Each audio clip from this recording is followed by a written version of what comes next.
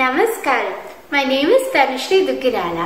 My registration number is TSKP 2017 364 and I am participating in a non-classical singing group.